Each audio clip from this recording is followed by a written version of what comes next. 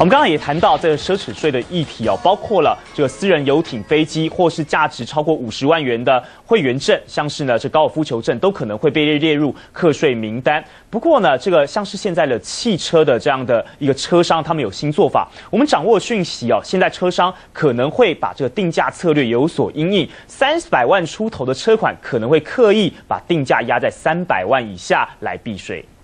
三百六。那你知道现在政府要课奢侈税超过三百万都要课税吗？呃，现在知道了，好贵啊！还好我先买了。听到奢侈税课征名单锁定价值三百万以上的汽车，这位先生大呼赚到了，因为家里的百万名车就有两部，其中一部买了不到两年，真的要庆幸买得早，不然一台车三百万。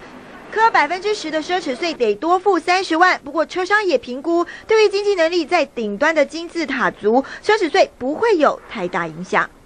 有钱人对这种感受啊，汽车的感受是很重的，觉得影响应该不至于太大了。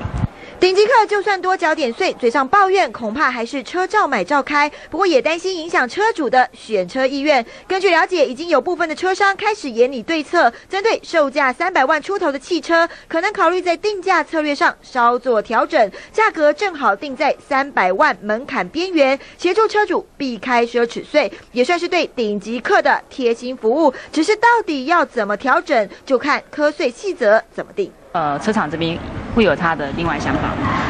呃，我我还没想到这些。看看台湾车主们最爱的车款，比较高价的宾士还是 B N W 五系列，也至少科十趴的税，要多付三十二万元。其他像是欧系的名车车款，三百多万元也得多缴三十三万的税。车商巧妙调整价格，对消费者而言当然是奢侈税能避就避，多少省一点。中央新闻蓝雅婷、詹浩凡台北报道。